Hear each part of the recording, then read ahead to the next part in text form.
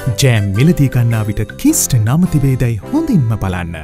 Mahanuwara civil සංවිධාන එකමුතුව අද මහනුවර රනිලාකෝකම ඉදිරිපිට විරෝධතාවක නිරත වුණා.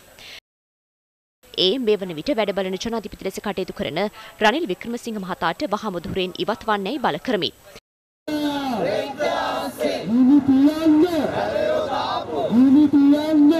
අද පිටබදු මේන්ට කෝටි ගණන් ණය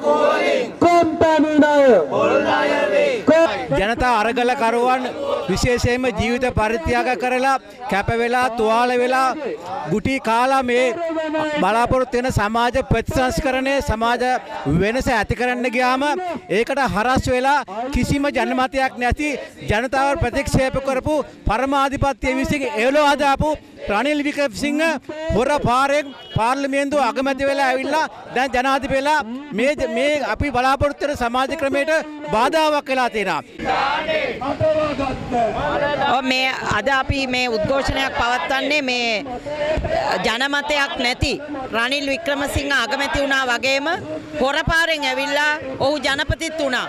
ඒක නිසා නැවත වතාවක් ඔහු 20 වෙනිදා ඡන්දයෙන් ජනපති බවට පත් කරන්නේ නැතුව ඔහු මේ පාලනයෙන් අයින් කරලා සාධාරණ පාලනයක් මේ රටට අවශ්‍යයි කියන එක තමයි අපි මේ කියන්නේ.